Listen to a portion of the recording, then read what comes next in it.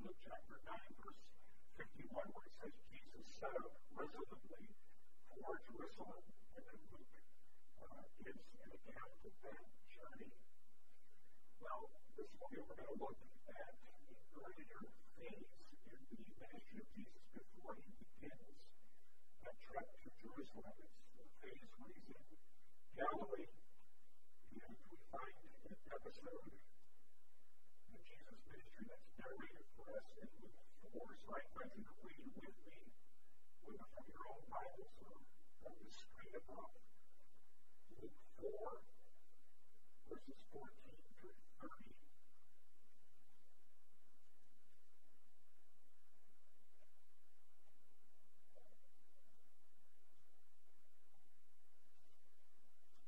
Luke 4, beginning at verse 14, and read to the end of the chapter.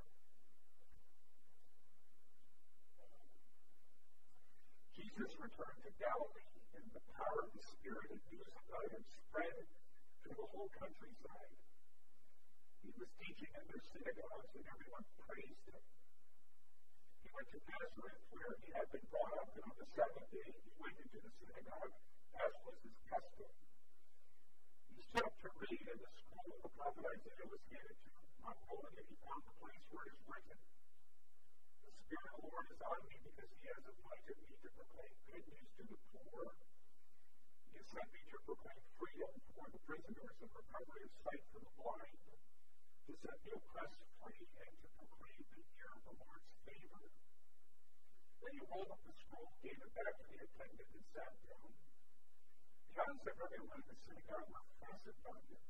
He began by saying to them, Today, this scripture is fulfilled in your hearing. Well of him, and were amazed at the gracious words that came from his lips. Isn't this Joseph's son? He asked. Jesus said to them, Surely you will quote this proverb to me, Physician, heal yourself. And you will tell me, Do here in your hometown what we have heard that you did in Capernaum. Truly I tell you, he continued, no prophet is accepted in his hometown. I assure you that there were many widows in Israel in Elijah's time. When the sky was shut for three and a half years, and there was a severe famine throughout the land. Yet Elijah was not sent to any of them, but to a widow in Zarephath in the region of Sidon.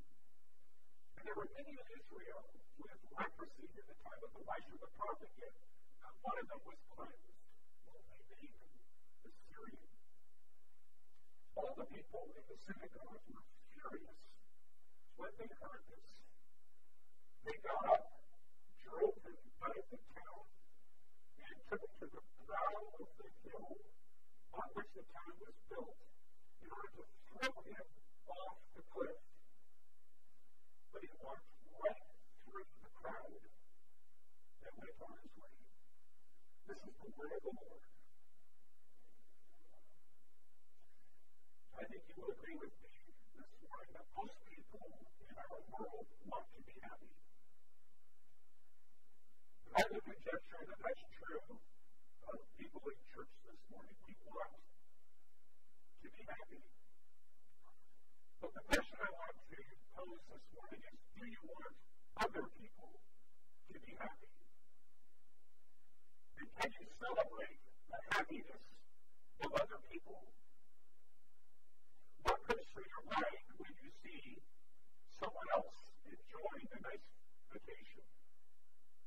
What goes through your mind when you see someone else enjoying a party? When you see someone else succeeding in their career, excelling in life? Can you celebrate the happiness of other people? If you can't, it you're struggling with one of the seven deadly sins which is the sin of envy. And in the first century, when Jesus conducted his ministry, the people of Israel were guilty of envy. God had chosen the people of Israel to be his special people, and he had given them a special mission. They were to be a light to the nations. They were to be the channel through which his blessings flowed to all the nations. And what you discover on the pages of Scripture is that Israel welcomed the first part, and that theology and not the second. They were happy to see themselves as God's chosen people, but they rejected blessed. And the notion that God would welcome into his kingdom, into his community, people who were not Jews, was offensive to many people. Now, Jesus here in Luke 4 sets the agenda for his mission and for his ministry. It's a very significant passage in Luke's gospel. He's contradicting the mindset of the people to whom he is ministering. I want you to know this morning that the gospel writer Mark also narrates the story, but he puts it in a different place in the ministry of Jesus. It's partly through his ministry from Galilee, but Luke puts the story right at the very beginning of his ministry because Luke wants us to know that this is where Jesus' agenda is set. It's an agenda that contradicts the tribalism and the provincialism of his Jewish compatriots. And his mission is this. He is going to bring forgiveness and restoration and liberation to all who believe in him indiscriminately, regardless of one's social status, regardless of one's ethnicity, regardless of where one lives. This, you see, is the manifesto of the Messiah. And in the time that we have together as we work way through this passage, we're going to see the message of the manifesto, a message of universal grace. And we're going to see the response to the manifesto, which is a response of unhinged fury. So I said to you before in this series that the Gospel of Luke is divided into three parts. The bulk of the Gospel involves this trip that Jesus makes from Galilee to Jerusalem. The conclusion of the Gospel has Jesus ministering in Jerusalem. And at the beginning of the Gospel, we have Jesus ministering in Galilee. And that's where we find Jesus in our text. In the northern part of Israel, quite far, in fact, from Jerusalem and Judea. Jesus had already been ministering for some time. He had been teaching in synagogues. He had performing. He had been performing miracles, and he had developed a wonderful reputation. And you can see early in the text, it says something like, everyone praised him. Everyone was fond of him. And now on this particular day, Jesus comes to his very hometown. He has been away from his hometown for some time. The town of Nazareth. It was a small, conservative town in Galilee. It was populated by very devout Jews. And Jesus, because it's a Sabbath day, goes to the synagogue. We don't really know a lot about synagogue services in the first century. We know there was some singing and there was some praying, and at some someone would come up and read from the scrolls and teach about it. And sometimes there would be a distinguished guest, and on this particular occasion, in synagogue in Nazareth, there is a distinguished guest, and it's Jesus, the hometown boy who has become, from the region, a hero because of his amazing teaching and because of the miracles that he's been performing. So when attended to the synagogue gets Jesus the scroll of Isaiah, and Jesus turns to Isaiah 61, the passage that we read, reads the passage, returns the scroll to the attendant, and sits down in order to teach. And everyone begins to wonder what Jesus will say. Now, we know this is the case from a lot of extra biblical literature, Dead Scrolls, and so forth, that the prophecy of Isaiah was deeply loved by first century Palestinian Jews, and in particular, Isaiah 61. This was a passage they all knew. This was a passage they all loved, that they understood to be a passage about the coming Messiah. And what was this coming Messiah going to do? Well, he was going to favor the people of Israel, and he was going to defeat their enemies, not least the dreaded Romans. Well, Jesus applies the passage to himself and identifies the Messiah. The Spirit of the Lord, he says, is upon me to preach good news to the poor. Now, often when we think of poor people, we think of people who are economically disadvantaged, people who don't have a lot. What you discover as you read through Luke's Gospel is that the word poor often heads a list of those who were disadvantaged, disrespected. Poor becomes kind of a label for Luke for those of low social status. The Spirit of the Lord is upon me, Jesus says, to preach the gospel to the poor, to the disadvantaged, to the disrespected, to those of a low social status. And the Spirit is upon me also to proclaim the year of the Lord's favor. Now, the Jews who heard that would have recognized that Jesus was referring to the year of Jubilee. That's something you can read about in, Leviticus 25. It was an amazing year for every 50 years in the Israelite calendar. And in the year of Jubilee, all debts were canceled, all slaves were released, all land was restored. And the Jews of the first century loved this passage. Why? Because they had been in captivity for so many years in Babylon. Finally, they had been able to return back to the promised land. The promised land, their land, was now under Roman occupation. And they felt that they, their religious identity was being threatened by that. They were suffering socially on account of it. And they were waiting for the Messiah to come to announce the year of Jubilee so that the land could be fully restored to them. All of their losses could be returned. The Romans would be gone and they would enter into a time of great peace. And Jesus says them, well, the year of Jubilee has come. It has arrived now.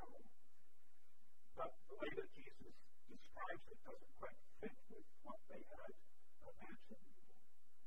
Jesus says that because Jubilee has arrived, and He is the Messiah, He is going to mend whatever is broken in the world. Straighten whatever is crooked in the world. He is going to right whatever is wrong in the world. And what exactly does that mean? Well, it means freedom. It means freedom from the guilt of sin. Because Jesus went to the cross, he had to pay for the penalty of sin. And I imagine we have people here this morning who struggle with the guilt of sin, or sometimes paralyzed by guilt. And Jesus came to give people freedom from guilt or paying the penalty for sin on the cross. Jesus also came to bring freedom from the curse of sin. When he died on the cross, he defeated sin, uh, defeated the power of death. And he's, he uh, secured for us a, a new world and a new creation, can one day inhabit with bodies that are resurrected. Are you afraid of death? If you believe in Jesus, if you accept the Messiah, you don't need to be afraid of death because Jesus has defeated the power of death. Jesus has come to bring freedom, freedom from the power of sin itself. When he died on the cross, he was doing far more, the Bible says, than simply paying the penalty for our sins. He was defeating sin's power. Wonder if you're troubled this morning by the pressure that sin has on you. I'm saying to you, if you trust yourself to Jesus, you don't need to fear sin's power because Jesus has defeated that power. And He is now the power in your life. He is the Lord, and He is a gracious Lord. Jesus has come to right every wrong in society, to make whatever is broken and straighten up whatever is crooked. How did uh, the Jews in Nazareth receive that message? Well, here's what the NIV has, verse 22. It says, All spoke well of him and were amazed by the gracious words that came from his lips. I'm not convinced this morning that that's the best translation or literal translation says, they bore witness to him and wondered words of grace that fell from his lips. They bore witness to him and wondered about the words of grace that fell from his lips, because here are the facts, and I think the context supports this translation. They were irritated with Jesus. Why would the words of Jesus have been irritating to them? Well, because of the words of grace that he had spoken. Grace that in their minds was a little too universal. Grace in their minds that was a little too generous. And they knew that when Jesus quoted Isaiah 61, he did not quote it accurately. There was a very significant phrase in Isaiah 61 that Jesus deliberately left out. And it was a crucial part of Isaiah's message. In Isaiah 61, the Messiah comes to proclaim the year of the Lord's favor and the day of the Lord's vengeance. And that's the part, the phrase that Jesus left out. They were looking forward to the coming of the Messiah because for them it meant that God was going to show his special love for the people of Israel, and even more importantly, he was going to mete out his judgment on their enemies. He was going to minister judgment on the Romans in particular. Jesus says nothing about that. The grace with which he speaks is a universal grace, nothing about judgment. So Jesus had disappointed the people of Nazareth, and they say to themselves, Isn't this Joseph's son? He's the hometown boy. And their disappointment with Jesus, you see, reveals their tribal mindset. They wanted Jesus to get up behind the pulpit and tell them that they were God's special people, specially loved by God. They wanted Jesus, who had been going about doing miracles in other places, to come to Capernaum and give them special treatment. Do some miracles in their midst. They wanted to see themselves as special people. And they wanted to see Jesus give them special treatment. Isn't this Joseph's? Isn't he the hometown boy? Jesus, you see, understands their tribal mindset. And he responds. He says, Surely you're going to say to me, Physician, heal yourself. The meaning of which is don't deny to yourself what you give to others. Implication don't deny to the people of your hometown, Nazareth, what you are giving to people in other towns. If you're doing miracles and working wonders in other towns, you ought to do that, especially in Nazareth. You're the hometown boy. This is what we are wanting. Jesus, you see, knows that they're disappointed with him. But he aligns himself, if you notice in the text, with the great Old Testament prophets. And he responds to them by saying, A prophet never has honor in his own hometown. Aligns himself with the great prophetic ministries of Elijah and Elisha, who also disappointed the hometown crowd. Because in times of Israel's history, when the people of Israel were hurting, Elijah and Elisha went to those outside of Israel. Elijah and Elisha brought God's restorative grace to those who were not Jews. And Elijah is the first example. It was in a time of famine, in a time where there were many widows in Israel. And where did God send Elijah? To the widow of Zarephath. Part of a lower social status of three counts a woman, a widow, and a non Jew. You have to understand that in first century expectations, the Jews thought that Elijah would return and he would be an agent of God's vengeance on their enemies. And Jesus depicts Elijah in exactly the opposite way. Actually, he's somebody who goes and ministers outside of his hometown and love and compassion for those who aren't Jews. In a time when there were many lepers in Israel, uh, Elisha cleansed Naaman the Syrian. A non-Jewish Syrian soldier, a leper, somebody would have been excluded from Israel's fellowship. But the message that Jesus, you see, is conveying is this. If you don't accept that the kingdom of Jesus is for others, it's not for you. If you don't accept that the kingdom of Jesus is for others, it's not for you. If you don't want others to enjoy God's blessings, you won't enjoy them. Elijah was sent to the widow of Zarephath, Elisha cleansed, Naaman the Syrian. Now, this, by the way, is another example of carrying the of men and women. I sent you the sermon previously, are over 25 instances. There is the story of a man, the story of a woman. Here's another example. Of a widow, Zarephath, Naaman the Syrian. He could have told the story of two men.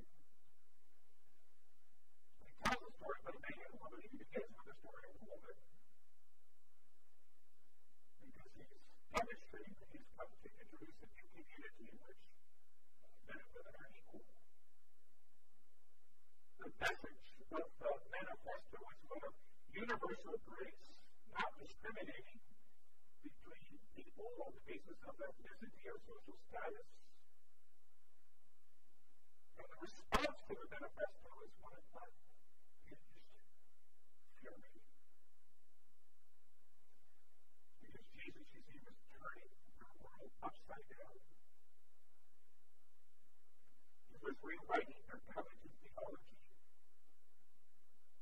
He had exposed their hypocrisy. They had no love for the Son of God. They saw only as the son of Joseph. They had no love for others. They only loved themselves. And they were so furious that they determined, even though it was the Sabbath day, to throw him off the cliff. God chose Israel out of all the nations of the world to be his special people through him, through whom he would bless all the nations of the world, to be the channel, to be the conduit through which his blessings would flow to all the world. The Jews embraced the first part and rejected the second. They celebrate the fact that God had chosen them out of all the peoples of the world, and they refused to embrace the mission to bring blessings to the world. But this morning I wonder if we're ever guilty of precisely the same sin. Because Blessings Christian Church is a Reformed church, and the Reformed doctrines is the doctrine of election, which says that our salvation is not dependent or contingent on anything we do the decision we make, but it's dependent and it's contingent on God's decision and on God's choice. You'll sometimes hear sermons preached on election where this message is conveyed, and the application is we need to celebrate the fact that God has chosen us.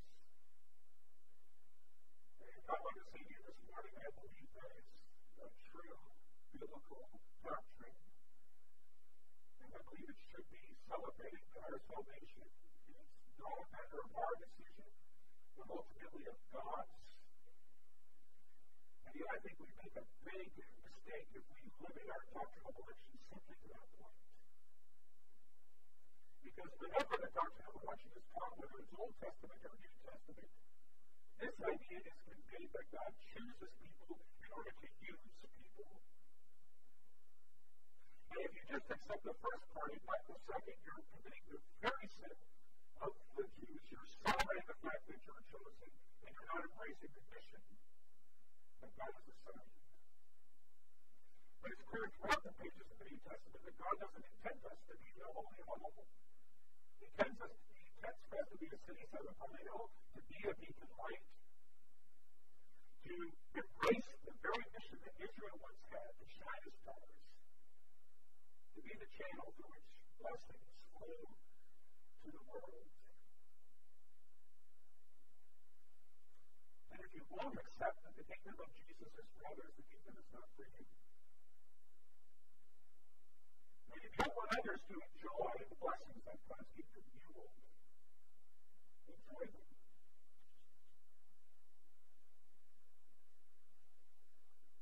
Well, I want you to well the, two directions of missions in this text. Uh, I hesitate to use these words because sometimes I get critiqued for using words with too many syllables. But I'm going to say boldly, you missions is both centripetal, which has to do with attracting people in, and it's centrifugal, which has to do with going out to people. Is that clear? Maybe the words are. You can use the words of attractional and incarnational still to be syllables. It's so hard.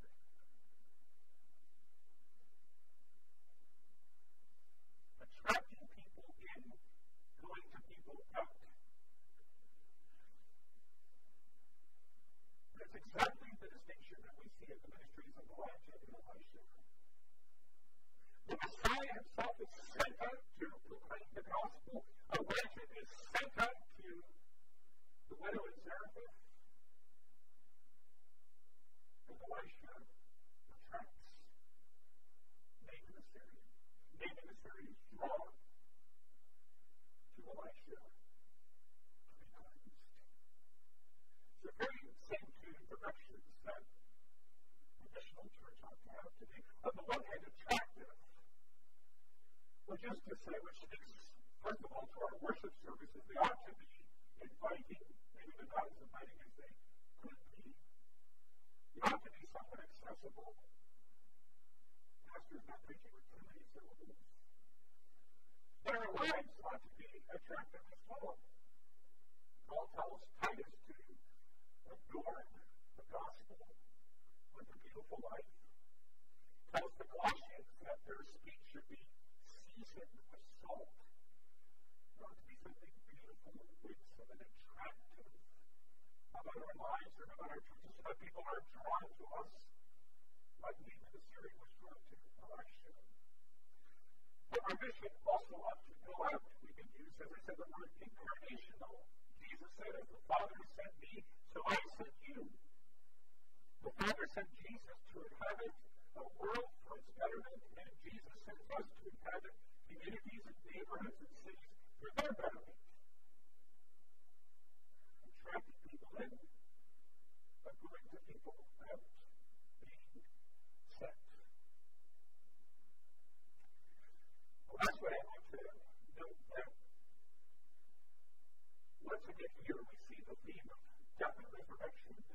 I indicated last time that there's so many passages of gospel, you see previews of the death and resurrection of Jesus. And I was at a ministers' conference recently, and he was saying, What you're preaching on is so Luke, and what have learned? And I was sharing with him the things that I've learned. And at one point he said to me, I think you know Luke's gospel better than Luke. And initially, because of my constitution of personality, I, I received it as a compliment. And I thought, oh, this guy must think I know a lot. And then I realized he was actually making a criticism. But I was seeing things in Luke's gospel that Luke himself didn't see, which might be problematic, right? And yet, I'm going to be stubborn here, and I'm going to say that here again you see death and resurrection as you do in the previous account, right? Where Jesus is gone, the soul of Mary is pierced, and three days later Jesus is found. Resurrection story.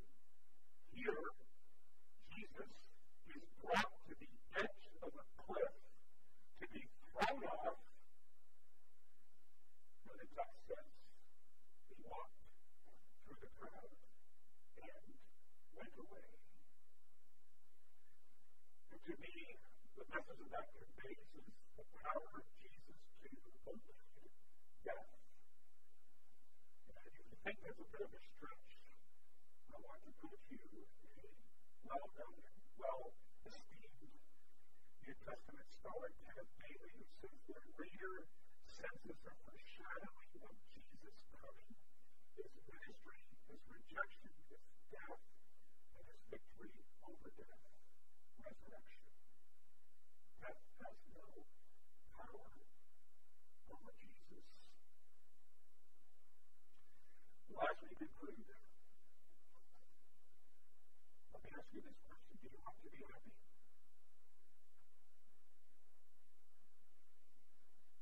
Or the more unsettling question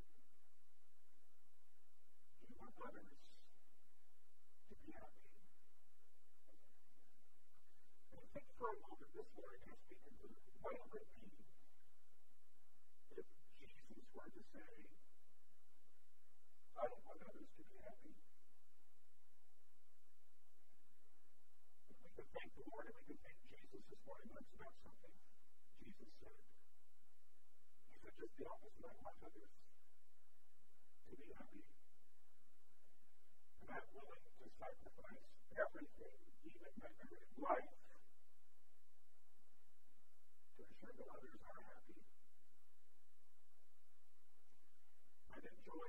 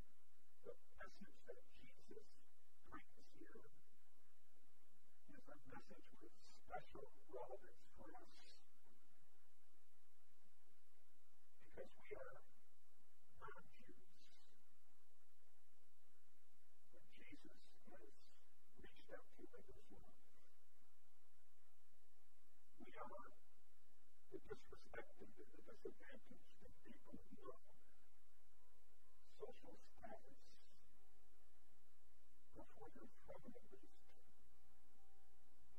defiant, rebellious, tarnished, distorted, broken people.